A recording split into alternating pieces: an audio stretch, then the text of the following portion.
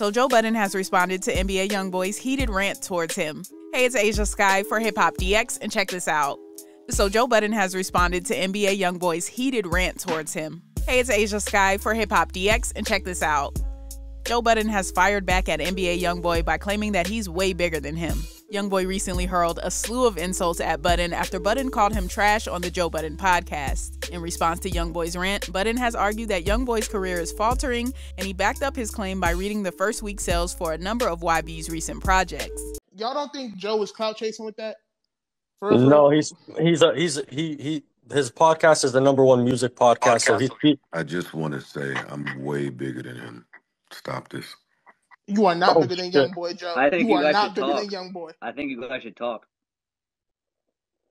I think he says way bigger than him. He's speaking on an overall presence platform, like no, the young, the, you you young idiots get fooled by these label metrics and these digital tricks. Would you like me to read you the numbers on Young Boy's last six projects? No, Yo, go for it. Go for it. No, no, no, no, no, no, no. Go for it. Go for it. Yo, don't, don't cut him off while he's talking. Yo, Joe, go for it. Right. You want to read? I mean, I don't want to. I, did, I mean, I didn't, think, I, had, I didn't, didn't think I had to do this because I'm sure someone here is recording. Oh. Uh, I mean, we're always we record every on you. 2022. Real 20, quick. 2022. Never broke again. Quando Rondo. LLC, 14,000 copies, week one. Billboard position 62. Then you have uh, Fed Baby's, Moneybagg Yo, 2017, 21,000, week one. 38, uh, 3,800 degrees, October 7th, 2022, 24,000. Uh, what else we got? Better Than You with DaBaby, March 4th, 2022, 28,000. Until I return, 2020, 29,000. Stop this, yo. Stop. You skipped a bunch of projects. Let me just bro. read. You skipped a 6th, bunch of projects. 2023. Jameson. 29,000. Here, we got another one here, 2022. Drama, I got a family. 39,000.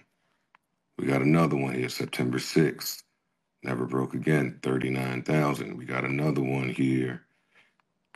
2018, 43,000. We got another one, 43,000, 2018. We got another one here, 51,000, 2023. The point is, you, you're doing a lot for somebody that don't sell more than 60,000 records. Like, stop it. I get They care for the bots, Joe. Yeah, I, I know, I know, I know, but enough of it enough young people just saying stupid shit in hip hop. We get it. You like who you like. Awesome. But it's not this dominant force that you niggas keep trying to make it out to be. Y'all did the same thing with Brent. Y'all do the same thing with all these new niggas that y'all like. Just stop, yo. Now, despite Joe Budden's comments, NBA Youngboy has earned over 60,000 first week units several times in his career with projects like 2020's Top, which earned 126,000, 2021's Sincerely Kentrell, which earned 137,000, and 2022's The Last Slimito, which earned 108,000. And on Joe's side of things, his first and only major label album, 2003's Joe Budden, sold 95,000 copies in its first week and debuted at number 8 on the Billboard 200. So, what are your thoughts on the continued back and forth between Joe Budden and NBA Youngboy? And do you think Youngboy will respond to these latest statements from Joe? Let us know in the comments section. Make sure you subscribe to the channel, hit the notification bell, and keep it locked to Hip Hop DX.